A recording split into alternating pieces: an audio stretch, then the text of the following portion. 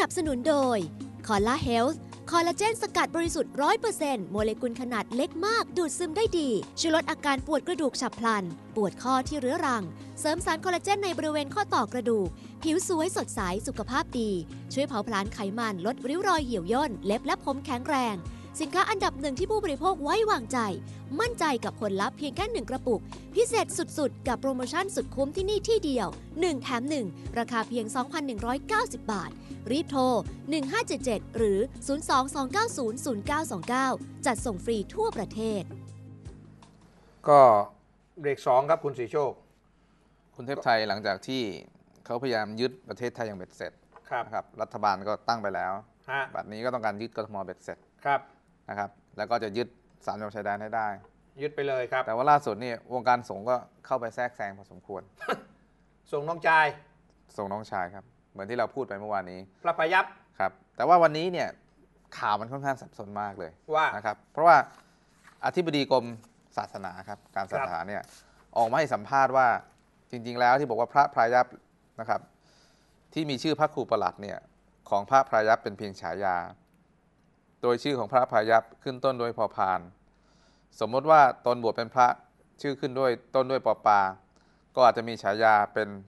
ปัทโร ดังนั้นพระครูประหลัดของพระพายัพไม่ใช่สมณศักดิ์ของพระ ผมว่ามั่วหนักนะที่บดีกรมศาสนาเนี่ยปรีจากันติยานี่เหรอครับ มันเป็นไปได้อย่างไรอธิบดีคำว่าฉายาเนี่ย คุณยังไม่เคยบวชใช่ไหมผมบวชแล้วครับ คุณบวชแล้ววัดคุณปาได้กฉายาน้ำไหมได้ครับชื่ออะไรฉาสิยาสิริโชโตอาศรีอยู่โตเพราะว่าคุณมาจากคำว่าสีโชค ครับ ผมนี่บวชแล้วครับ พระเทพไตรเทววังโส อันนี้ก็เรียกว่าฉายา ผมบวชแล้วแล้วผมเทศเลยนะ ผมเทศโอ้แบบนู่นเลยแหละแบบยิ่งกว่าทศพลหิมาพานเลยอะสีกาเออญาติโยม ฟังอาตมาเทศนา เชิญนิมนต์มานั่งข้างหน้าอาตมาจะกล่าวชาดกโอ้แม่ยก เริ่มเลย แล้วก็เอวังก็มีด้วยประการฉชนีเอวังด้วยมีด้วยประกาศนีสาธุสาธุสาธุสาธุโอ้ตอนนั้น ผมเนี่ยบวชไม่นานถ้าบวชนาน ผมว่าป่านนี้ก็เฮ้ยเป็นปาราพชิกระแล้วเทศไม่เป็นประชิกได้ไง ผมเคร่งในธรรมะคุณศีลสองร้อยยี่สิบเจ็ดข้อเนี่ยพระธรรมวินัยเนี่ยได้หมดท่องได้หมดเลยนะ หัวดี แต่ว่าตกลงเป็นฉายาไหมเอาเข้าเรื่องดีกว่าจะมาฉารับยาใช้ประเทศชาติก็มาฉายาไหมเป็นเป็นฉายาไหมฉายาบ้าอะไร ฉายามันต้องมีนี่พูดไอ้พูดสมมุติว่าพูดพระเบาๆหน่อยพยับพระพระพระพยับนี้นะอ่าใต้ผมตั้งฉายาก็ พระพายับพายับภูอะไรเงี้ยโอเคนี่ใช่ พายับเยินได้ไหม พายับเยินก็มันออกซาอูหน่อย พระมันต้องออกซาอูนิดนิดอ่า อ่าพายับภูพายัยูอะไรเนี่ย อ่า แล้วอันนี้มันพระประหลัด ครูประหลัดอย่างเงี้ย เออถ้าเป็นเออป้าถ้าพระครูประหลัดของอาจารย์ส้วน แถวแปดริ้วเออพอว่าไปได้คือได้คือขณะนี้เรากำลังพยายามจะบอกว่าคำว่าพระครูประหลัดเนี่ยไม่น่าจะเป็นฉายานะครับ น่าจะเป็นสมณศักดิ์และการที่อธิบดีกรมศาสนาได้ออกมาพูดในทำนองนี้เนี่ยก็ทำให้เกิดความสับสน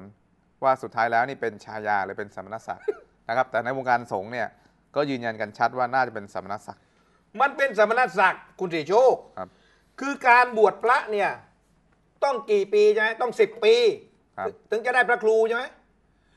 มีเอาอย่างนี้กันถ้าหากว่าได้พระครูเนี่ยผมผมบอกคุณโชคอะมีที่ผมเห็นนะ ครับ ในชีวิตผมเนี่ยมีที่ผมรู้จักเนี่ยมีองค์เดียว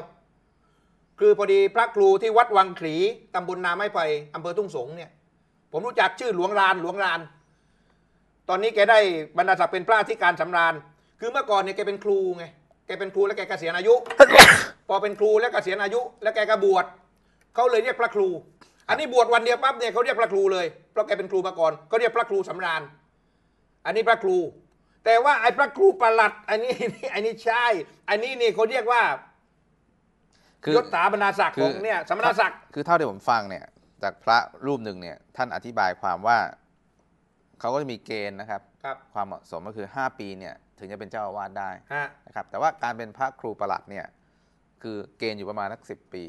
เพราะฉะนั้นเนี่ยการเป็นพระครูประหลัดเนี่ยมันยิ่งยากกว่าการเป็นเจ้าอาวาสด้วยซ้โอ้ยากกว่าเยอะำครับ ได้ยศไงพระครูประหลัด พระครูประหลัดนี่แค่พระอธิการ พระอธิการกับพระครูประหลัดนี่พระอธิการไหนใหญ่กว่าซึ่งต้องถามหลวงรานดูหลวงรานวัดวังขลีพ่อหลวงอันไหนใหญ่กว่านี่ผมก็ยังลำดับไม่ถูกอะซึ่งเนี่ยซึ่งพระพระยอมเนี่ยก็ออกมาให้สัมภาษณ์เหมือนกันครับในชำนองว่าเหมาะสมได้พระครูประหลัดนะครับ เพราะคุณพายัพเนี่ยได้สร้างโบสถ์นะครับ แล้วก็บอกปัญหานี้ไม่น่าจะเกิดเลยถ้าพระพายัพไม่ใช่เป็นน้องชายของคนชื่อทักษิณคือถ้าหากว่าสร้างโบสถ์แล้วได้เป็นพระครู เจ้าของร้านทองแถวบ้านผมเยอะแยะทำโบสถ์ตั้งสิบสิบล้านนั่นน่ะอืมพี่น้อยคุณน่ะคุณนกรพี่น้อยคุณเนี่ยไปสร้างโบสถ์สิบกว่าล้านน่ะที่วัดหัวไซอะอันนี้ถ้าแกบวชก็ยิ่งกว่าพระครูอะเป็นพระท่านเจะคุณไปเลยถ้างั้นไปทำบุญไว้เยอะนี่ คือพระพยอมผมว่าดูช่วงหลังๆแกก็มั่วๆเหมือนกันนะ ครับ แล้วแกอ้างบอกว่าไม่จำเป็นที่จะต้อง ลำดับอาวุโสอืมอันนี้ทำเหมือนในพรรคเพื่อไทยเลยอะพรรคเพื่อไทยเนี่ยไอ้โจ้ยุทธพงศ์จรัสเสียนออกจากประชาธิปัตย์ไปปั๊บไปเป็นรัฐมนตรีเลยครับไม่มีอาวุโส ซึ่งผิดกับประชาธิปัตย์ประชาธิปัตย์เนี่ยมีคิวมีอาวุโส เพราะฉะนั้นไอ้พวกนี้มันปรับตัวให้เข้ากับยุคกับพรรคเพื่อไทยไงรัฐบาลเพื่อไทยเข้าปั๊บนี่หมายว่าว่าใครก็แล้วแต่ด่าประชาธิปัตย์เก่งก็ได้เป็นเลยรัฐมนตรี อันนี้ก็เหมือนกันนะไม่ต้องอยู่ครบสิบพรรษาอะไรหรอกทำบุญก็รัดได้อ่านี่พระพยอมว่าแหมนี่มันจะเปลี่ยน พระเป็นการเมืองหมดแล้วตอนเนี้ยนะครับทีนี้เราก็กลับมาดูเรื่องปากท้องของพี่น้องประชาชนสักนิดหนึ่งนะครับครับเพราะที่ผ่านมาเนี่ยเราก็ไปยุ่งประเด็นการเมือง ก็อาจจะละเลยเรื่องปากท้อง ครับ ก็พูดถึงเรื่องน้ำมันนะครับ เพราะว่ามีหลายๆ คนก็บ่นเนื่องจากเศรษฐกิจยุคนี้เนี่ยน้ำมันมันแพงมาก ครับ พอน้ำมันแพงเนี่ยก็ค่าใช้จ่ายก็เพิ่มขึ้นเนื่องจากมีรถยนต์นะครับ เราก็เลยไปเอานะครับไปเปรียบเทียบราคาน้ำมันนะครับ โดยอ้างอิง นะครับด้านอ้างอิงเว็บที่เป็นทางการเลยนะครับครับปรากฏว่าเปรียบเทียบราคาน้ำมันดิบที่ตลาดสิงคโปร์ก่อนนะครับคุณเทพไทย ครับผมยุคคุณพิสิทธิ์เนี่ยเราเปรียบเทียบเนี่ยนะครับ29เมษายนเนี่ยค่าเฉลี่ยก็ออกมาประมาณ 139.36847เนี่ยเหรียญสิงคโปร์นะครับยุคยิ่งรักษณ์16 กุมภาพันธ์ล่าสุดเนี่ยครับ118.73750 นะครับสิงคโปร์ดอลลาร์เหมือนกันครับคือพูดง่ายๆว่า ยุคนี้เนี่ยเราเอาดูค่าเฉลี่ยนะครับ ก็ต่ำกว่ายุคคุณอภิสิทธิ์ถึงประมาณ 20 เหรียญสิงคโปร์ยังถูกกว่ายุคคุณอภิสิทธิ์อีกอะนะครับแล้วบอกว่าน้ำมันแพงเนี่ยยุคอภิสิทธิ์เนี่ยน้ำมันดิบเนี่ยแพงจะตายอยู่แล้วนะครับ แต่ว่าพอมาดูยุคยิ่งรักษณ์ปรากฏว่า มีสิ่งที่แปลกมากนะครับครับ คือไปดูเบนซิน95เนี่ยนะครับ ของคุณยิ่งลักษณ์นี่48.35 ครับ ของคุณอภิสิทธิ์เนี่ย 48.84ฮะ ของคุณยิ่งลักษณ์นี่ถูกกว่าของคุณอภิสิทธิ์49 สตางค์ครับ แต่ว่าคุณเทพไทยครับเบนซิน95 ในขณะนี้เนี่ย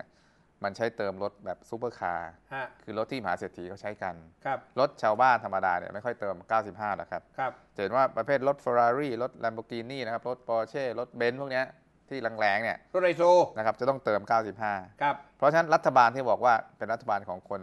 จนเนี่ยกลับ ทำให้เบนซิน 95 ซึ่งเป็นน้ำมันน้ำมันของคนรวยเนี่ยทำไมน้ำมันคนรวยถูก ถูก คนรวยเนี่ยใช้น้ำมันในยุคของคุณยิ่งรักษณ์ถูก คุณวิเศษนี่ต้องยอมรับ ครับ แต่ว่าสำหรับคนจนครับ มาดูนี่สิครับ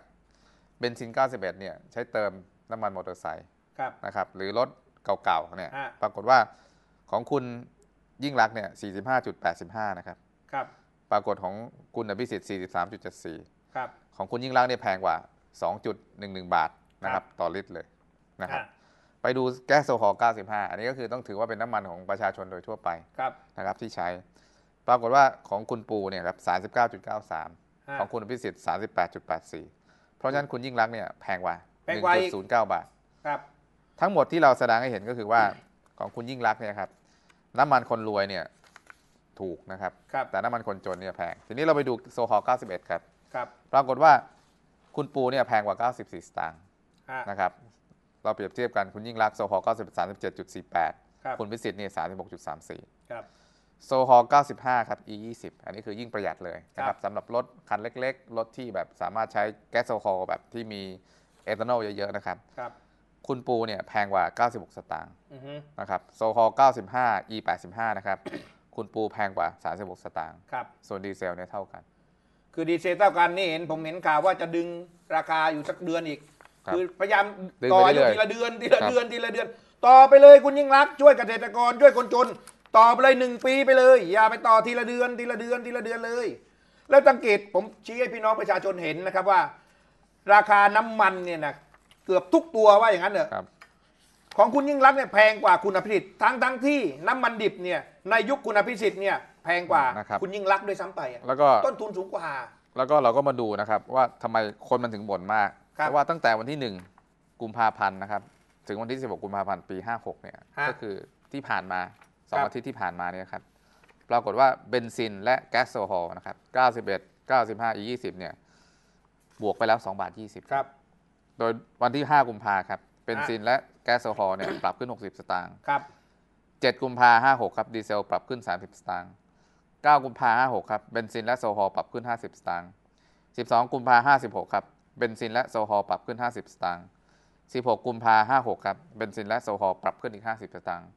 รวมเบ็ดเสร็จครับ เบนซินและโซฮอล์นะครับ ไม่ว่าจะเป็น 91 95 20 เนี่ย ตั้งแต่ 1 ถึง 16 กุมภาพันธ์ครับ บวกมาแล้ว2บาท 20 คือแค่ครึ่งเดือน ปรับขึ้นเจ็ดหกครั้ง ครึ่งเดือนนะคุณดิครัโยบและเดือนนี้ตั้งเดือนจนถึงเลือกตั้งผู้ว่า ผมว่าน่าจะปรับเป็นสิบมานี่ ครับ เลือกไปอีกดิผู้ว่าเลือกไปเลยเลือกไปเลยเลือกไอ้พรรคนี้แหละเลือกมันไปนะครับขึ้นในเขตกันตายกันทั้งปแล้วระเทก็ศเลยอันนี้ก็ก็เป็นเรื่องที่คนที่มีรถนะครับ มีรถมีราเนี่ยต้องเดือดร้อนนะครับ แต่ว่าความเดือดร้อนไม่ได้จำกัดเฉพาะในเมืองหลวงครับความเดือดร้อนเนี่ยที่มันแพร่กระจายไปในต่างจังหวัดก็มีครับ คือถ้าเกิดคุณเทพไทยได้ฟังข่าวนะครับ ช่วงนี้ก็จะมีข่าวในเรื่องของการเลือกตั้งผู้ว่าครับนะครับ ปรากฏว่าทกสเนี่ยครับ มีปัญหาเรื่องสภาพคล่อง จะเจ๊งเหรอทกสเนี่ย ยันว่าเงินขาดมือนะครับครับมีจำนำข้าว20,000ล้านบาท ก็ไอโครงการจำนำข้าวบ้านนี่แหละทำให้ทกสจะเจ๊งเจ๊งกันหมดเลยรัฐบาลเนี้แบงก์อะไรนะ SME แบงก์ก็จะเจ๊งไอแบงก์ก็มีปัญหา นี่ทกสก็จะมีปัญหาตายเกลี้ยงผมว่ามันเอาตังค์ไปทำอะไรไปยิ่งรักษณ์นี่เฮ้ทำอะไรตายอย่างเงี้ยบริหารประเทศแบบนี้กระมันก็แพง คือนี่ขณะขณะนี้เนี่ย ปรากฏว่า สภาพคล่องของทกสเนี่ยแย่มากนะครับ คือธนาคารก็ต้องพิจารณาว่าการใช้สภาพคล่องของธนาคารเนี่ยจะต้องไม่กระทบการดำเนินงานปกติของธนาคารครับดังนั้นส่วนที่ขาดรัฐบาลต้องการต้องดำเนินการกู้ หรือเร่งระบายข้าวเพื่อนำเงินมารับจำนำข้าวรอบใหม่ อันนี้คือนายบุญไทยแก้วขันดีครับ รองผู้จัดการทกสเนี่ยกล่าวนะครับว่าถึงการรับจำนำข้าวนาปังในปี 56 ครับ ซึ่งพูดง่ายว่าในเมษาเนี่ยจะมีปัญหาเรื่องสภาพคล่องฮะเนื่องจากเมื่อดู ทั้งระบบแล้วเนี่ยขาดเงินอยู่ประมาณ20,000 ล้าน ซึ่งขาดอย่างนี้เนี่ยมันเป็นปัญหาเพราะอะไรครับ เพราะกรุงเทพไทยเนี่ยเราได้รับเอกสารจากแฟนคลับของรายการสายล่อฟ้าบ่นมาครับว่าเขาเนี่ยครับติดตามดูรายการสายล่อฟ้าเกือบทุกวัน ไม่มีไม่คิดว่าจะต้องมาคอนเน็กชันอะไรกับรายการนี้นะครับ แต่พอดีกลับไปต่างจังหวัด พี่ชายเป็นผู้ใหญ่บ้าน แล้วก็ชอบเสื้อแดงนิดๆเพราะเขาไม่เคยได้รับข่าวสารอะไรเลยนอกจากดูละคร เขาบอกว่าเขาได้รับใบแจ้งหนี้จากทกสนะครับ ในใบนั้นเขียนกำกับด้วยลายมือพร้อมลายเซ็น เรื่องขอให้ชำระหนี้ก่อนกำหนด คือวันที่ 22 เดือน 2 ปี 56 แต่จริงๆ แล้วเนี่ยในใบแจ้งยอดต้องครบกำหนดชำระจริงๆเนี่ยคือวันที่ 31 เดือน 3 ปี 56 หลังจากได้รับใบแจ้งชำระหนี้ได้สักสองสามวัน ก็มีโทรศัพท์ จากเจ้าหน้าที่ทกสมาแจ้งให้ชำระในก่อนวันที่เขียนกำกับไว้เท่านั้น พูดง่ายให้พี่น้องประชาชนดูใบนี้ครับ คือว่าเอกสารใบนี้เป็นเอกสารที่ทกสเนี่ยทำนำส่งมาถึงชาวบ้านคนนี้นะคครับรับบอกบอกว่าต้องไปจ่ายนะครับเงินเนี่ยผ่อนเนี่ยให้กับทางทกสเนี่ยจริง ๆ แล้วตามกำหนดนี่คือวันที่ 30 31 31 เดือนมีนาคม2566นะครับแต่กลับมีเจ้าหน้าที่เนี่ยมาขีดนะครับแล้วเขียนใหม่บอกว่าให้ชำระไม่เกิน 22 เดือน 2 2556เนี่ยเราก็คิดว่าเรื่องนี้เนี่ยเป็นเรื่องที่ทกสเนี่ยกำลังไปบีบ ให้ชาวนาเนี่ยชำระหนี้ก่อน เพราะครับขณะนี้ขาดเงิน ซึ่งก็เจือตังค์แตกเจือสมกับข่าวที่ว่าทกสเนี่ยขาดเงินอยู่ประมาณ 20,000 ล้าน เพราะฉะนั้นธนาคารก็เลยต้องหาวิธีการไปบีบให้ชาวนาเนี่ยครับจ่ายเงินหนี้ให้มันเร็วครับสมมุติว่าเดิมเนี่ยต้องจ่ายวันที่ 31 เดือนมีนาคม 2556 เนี่ยก็บอกให้มาจ่ายเดือนกุมภาแทน อย่างเงี้ยครับผมคิดว่ามันไม่เป็นธรรมกับเขา คือมันก็ร่นได้เร็วขึ้นไง ครับ คือมันถังแตกแล้วมันไม่มีตังค์แล้วบ่อจี้อะเออภาษาจีนเรียกบ่อจี้บ่อจี้ คือไม่มีตังค์เลยภาษาจีนภาษาอะไรก็ไม่รู้นะบ่อจี้ภาษาจีนครับภาษาจีนเหรอครับ บ่อจี้บ่อจี้บ่อนี่มันภาษาลาวอะนี่บ่บ่ออ จี้บ่อจี้นี่ตอนนั้นไม่มีตังค์แล้วนี่เลยเร่งรัด ผมว่าลูกค้าเกษตรธนาคารเพื่อการเกษตรนะดื้อแพ่งเลย อย่าไปจ่ายตามที่เขาเรียกเอาตามที่เราครบกำหนด ครับ เออเราอย่าไปเสียสิทธิ์ไปตามใจพวกนี้เพราะมันเอาตังค์เราแล้วก็ไปผลานเนี่ยไปเขาเรียกว่าไปหมุนเล่น อันนี้พี่น้องชาวสวนยางผมก็โวยมาเหมือนกันนะคุณติโยกว่า เช็คเนี่ยเด้ง ครับคือเช็คไม่ใช่เด้งเช็คไม่มีตังค์ไอ้ธนาคารทกสนี่แหละไปซื้อยางคือก็ไม่มีตังค์คือผมเรียนอย่างนี้ก็ว่าในเอกสารที่เขาเรียกให้ชำระหนี้เนี่ยเขาคิดดอกเบี้ยเนี่ยจนถึงเดือนมีนาคมครับ นะครับ แต่ว่าถ้าไปเก็บนะครับถ้าไปจ่ายเดือนกุมภาเนี่ยก็แปลว่าดอกเบี้ยเนี่ยเราต้องจ่ายเกินกว่าความเป็นจริง ครับ ถ้าจะไปจ่ายเดือนกุมภาเนี่ยทกสต้องคิดถึงแค่เดือนกุมภาแต่ฮะนี่ทกสคิดถึงเดือนมีนา แต่กลับไปบอกให้ชาวนาจ่ายเดือนกุมภา อ๋อ คือหมายความว่าใน 31 มีนาคม 56 เนี่ย ต้องครับเสีย 2 4 2 2 2 2ครับ5แล้วมาขีดออกให้ครับจ่าย 22 เดือน 2 5 6ครับเพราะฉะนั้นถ้าหากว่าจ่าย 22 ก็ต้องลดลดดอกเบี้ยยอดให้เอ่อลดยอดที่จ่ายด้วยดิดอกใช่เบี้ยครับเนี่ย อันนี้คุณโกงนี่อย่างนี้ตายอะดิ นะครับ คือมันแสดงให้เห็นว่าเขามีปัญหาเรื่องสภาพคล่องจริงๆครับและไม่ใช่เฉพาะทกสนะครับ ขณะนี้ SME ก็มีปัญหานะ iBank ก็คือธนาคารอิสลามอิสลามก็มีปัญหาแบงค์ฮะนะครับ มีปัญหาหมดอะ แล้วก็ที่ไม่มีปัญหาคือยิ่งรักษณ์อะแต่รำภูไทยอยู่หนุนฟ้อนรำภูไทยอยู่ที่นครพนมหนุนโน่นน่ะนั่นแหละแกไม่มีปัญหาอะไรเลย อันนี้เราวกจากเมืองหลวงนะครับครับ ไปต่างจังหวัด นี่กลับมาเมืองหลวงอีกรอบหนึ่งนะครับ เพราะว่าอะไรครับคือผมเนี่ยคาดการณ์ว่านโยบายรถคันแรกของรัฐบาลยิ่งรักษณ์เนี่ยครับนะครับ แม้ว่าจะทำให้ประชาชนมาซื้อรถถึงล้านสี่แสนกว่าคันนะครับ ซึ่งเป็นการเอากำลังซื้อในอนาคตเนี่ยครับซึ่งต้องมีภายในปีหน้าปีต่อไปนะครับ เอามารวมกันในปีนี้ ฮะ เพื่อที่จะได้ภาษีคืนเนี่ยครับ นโยบายนี้จะสร้างปัญหาให้กับสังคมจริงๆนะครับทำให้รถติดนะครับ นอกจากนั้นทำให้ต้องซื้อน้ำมันเข้ามาเพิ่มมากขึ้น แต่ผมก็ไม่คิดว่ามันจะมีหนี้เสียได้เร็วถึงขนาดนี้ครับ อะไร ปรากฏว่ามีหนี้เสียเกิดขึ้นแล้วครับยึดแล้วครับรถคันแรก 10 คันรถคันแรกยังออกมาไม่หมดคันแรกยึดแล้ว ยึดแล้วครับ ตายอย่างนี้คือนายสมชายพูลสวัสดิ์อธิบดีกรมสรรพสามิตนะครับ เปิดเผยว่ากรมสรรพสามิตได้ตั้งหน่วยงานใหม่ขึ้นมาเพื่อประสานงานกับบริษัทเช่าซื้อหรือ leasing ที่ปล่อยกู้ให้ผู้ซื้อรถยนต์ในโครงการรถคันแรก เพื่อเฝ้าติดตามสถานการณ์การผ่อนชำระค่างวด ที่อาจมีผู้เข้าร่วมโครงการประสบปัญหาทางการเงิน และไม่สามารถผ่อนชำระค่างวดได้ตามปกติ ครับ จนทำไปสู่การถูกยึดรถเพื่อให้กรมสรรพสามิตเนี่ยสามารถดำเนินการเรียกคืนภาษีฮะจากผู้เข้าร่วมโครงการได้ตามขั้นตอนของกฎหมายนะครับ ด้านนายจุมพลริมสาคร รองที่ปดีกรมสรรพสามิตรักษาการในตำแหน่งที่ปรึกษาด้านการพัฒนาและบริหารการจัดเก็บภาษีกล่าวว่า นับตั้งแต่วันที่ครบรอบ 1 ปีของโครงการรถยนต์คันแรก เมื่อวันที่ 1 กันยายน 2555 ที่ผ่านมา มีการคืนเงินผู้ซื้อรถที่เข้าร่วมโครงการไปแล้วนั้น ทางบริษัทเช่าซื้อหรือ leasing ที่เข้าร่วมโครงการ ได้แจ้งยอดหนี้เสีย ที่เกิดขึ้นจากการขาดส่งค่างวดเกิน 3 เดือนเข้ามาแล้ว มีประมาณ 10กว่าราย ซึ่งกระบวนการต่อไปทางกรมสรรพสามิตจะตรวจสอบข้อมูลให้น่าแน่ชัด ก่อนประสานงานกับกรมบัญชีกลางเพื่อเรียกเงินคืนต่อไป พูดง่ายๆนะครับคุณเทพไทยครับแปลเป็นภาษาชาวบ้านเลยก็คือว่าไอ้รถที่ซื้อไปเนี่ยที่ได้ภาษีคืนหนึ่งแสนเนี่ย ครับถ้าคุณไม่ชำระค่างวดนะครับเขาเรียกคืนเขาเรียกเงินนี้คืนหนึ่งแสนคืน 1นึ่งแสนคืนครับ ครับ แล้วขณะนี้เนี่ยในบรรดารถที่เข้าโครงการคืนภาษีเนี่ยปรากฏว่ามี 10 กว่ารายแล้วครับ ที่ขาดส่งค่างวดเกิน 3 เดือน อะไรเริ่มต้นไม่ ไม่กี่เดือนเองนะครับขาดขาดผ่อนสามเดือนติดต่อกันครับเพราะ เขาก็จะยึดรถแล้ว เพราะฉะนั้นเมื่อรัฐบาลเห็นเหตุการณ์เป็นอย่างนี้ครับ ทางสันภาษามิตรเนี่ยก็เลยตั้งหน่วยงานขึ้นมาเฉพาะ เพื่อที่จะไปดูสถานการณ์เรื่องนี้ เพื่อที่จะได้เรียกคืนภาษีที่ให้กับประชาชนคืนกลับมา ในกรณีที่ไม่สามารถที่จะผ่อนได้ผมว่าเป็นโครงการที่ล้มเหลวอีกโครงการหนึ่งนะ ผมว่านะ นอกจากไอ้จำนำข้าวที่หายไป4ี่แสนล้าน แล้วอันนี้ไอ้ไอ้โครงการรถคันแรกนี่ก็เสียไปไม่รู้กี่หมื่นล้าน แล้วก็รถติดเสียน้ำมันก็รวมๆแล้วเป็นปีก็เป็นหมื่นหมื่นล้านนะครับซึ่งนี่ศูนย์เยอะจริง ๆ รัฐบาลชุดนี้มันซึ่งบริหารยังไงอะซึ่งเนี่ยทั้งหมดเนี่ยมันเป็นภาระให้กับกรุงเทพมหานครในการบริหารครับเนื่องจากรถจำนวนมหาศาลนะครับ ประมาณ 7-8แสนคันเนี่ยฮะถ้าผมจำไม่ผิดนะครับ5-8แสนคันเนี่ยมาอยู่ในกรุงเทพครับเพราะฉะนั้นผู้ว่ากทมเนี่ย คนต่อไปเนี่ยจะหนักใจเรื่องนี้มากนะครับ ครับ ซึ่งซึ่งผมเรียนอย่างนี้ครับว่า เมื่อเราไปอ่านนะครับ ข้อเขียนของคุณวสิทธิ์เดชกุลชรนะครับ ครับ มันเป็นข้อเขียนที่น่าผฟัมงอยากมากนะ ให้พี่น้องประชาชนนะครับ ครับ ได้ได้ฟังนะครับ แล้วผมจะอ่านนะครับ คือเป็นพลตำรวจเอกวิสิทธิ์เดชกุลจรเนี่ยเป็นข้าราชการตำรวจที่สมควรกราบซื่อไหว้สัตย์มากได้นะครับสนิทได้นะครับ กราบไหว้ได้สนิทใจเลยว่าอย่างนั้นนะครับ พลตำรวจเอกวิศวสิทธิ์เดชกุลชรเนี่ยเขียนเขียน ออกมาอย่างนี้นะครับว่าเราไม่ต้องการข้าศึกทั้งที่เปิดเผยและที่ปลอมแปลงตัวมาครับ แต่ต้องการคนที่เคยรบกับข้าศึกมาแล้ว ไปทำหน้าที่แม่ทัพ เพื่อรบกับข้าศึกที่กำลังเขมือบเมืองไทยอยู่ในขณะนี้ 1. ความอุตสาหะมุ่งมั่นอันแน่วแน่ของคุณชายสุขุมพันธ์ที่จะอุทิศตัวเองทำหน้าที่ผู้ว่าราชการกทมให้ดีที่สุด ข้อที่คนอื่นเห็นเป็นข้อเสียของคุณชาย คือความไม่เป็นคนช่างพูดและด่า ใครไม่เป็นนั้น สำหรับผมกลับเป็นคุณสมบัติที่ผมเห็นว่าทำให้คุณชายเป็นนักการเมืองน้ำดี ชนิดที่หาได้ยากสำหรับคนกรุงเทพและคนไทย 2. คุณสุขุมพันธ์เป็นผู้ว่าราชการกทมที่ผ่านศึก คือศึกมหาอุทกภัยในปี 2554ครับที่ออกรบเคียงบ่าเคียงไหลกับทหารทุกชั้น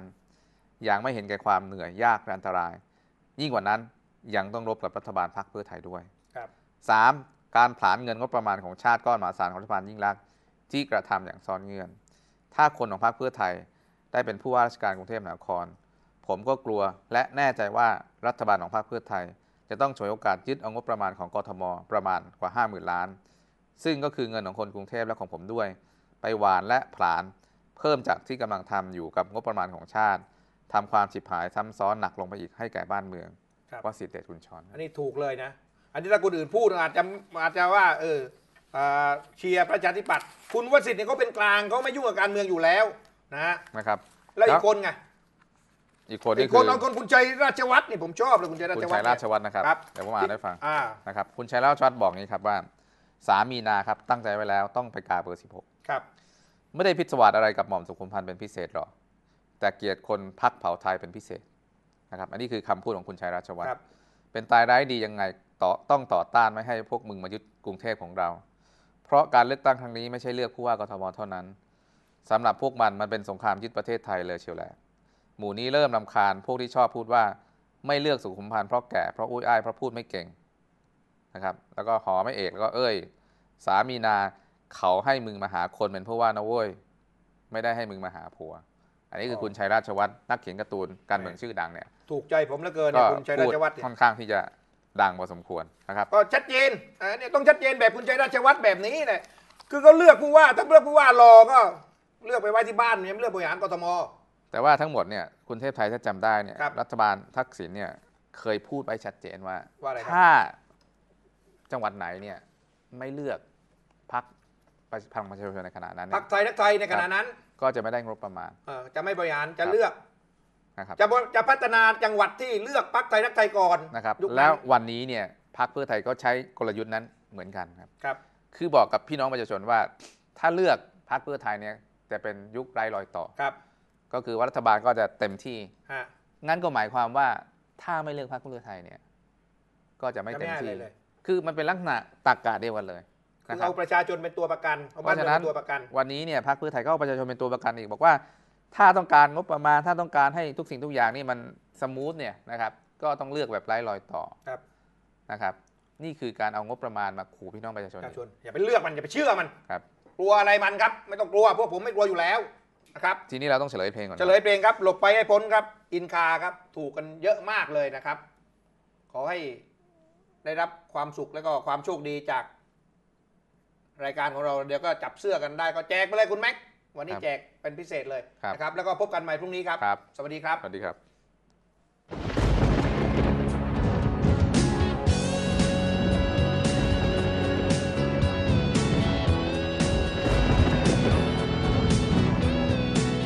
แต่ท่านดุผม และท่านบังคับอีก บอกให้ลงไปพื้นที่ภาคใต้ ผมก็บอกอาจจะไปหลังเลือกตั้งผู้ว่าก่อนค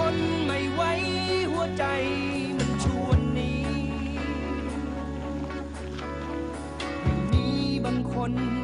ที่เขาไม่มีหัวใจให้จะไปให้พ้น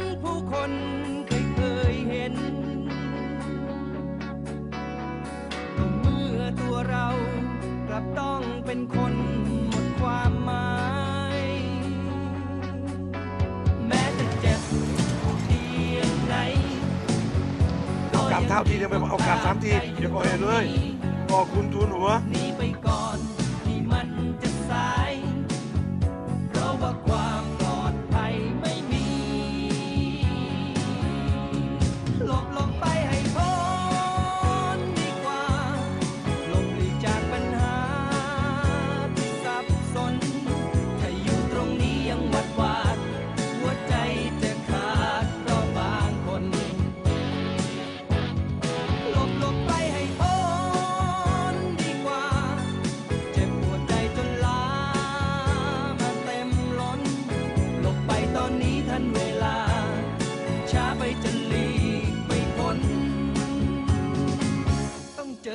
คนไม่มีใจ